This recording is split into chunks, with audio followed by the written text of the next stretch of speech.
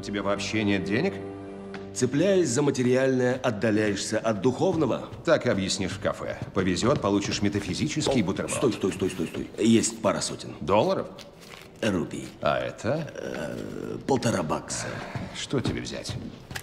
Можно сэндвич с тунцом и сыром.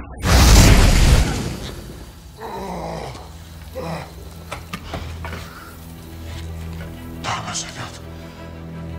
Спасайтесь. doctor?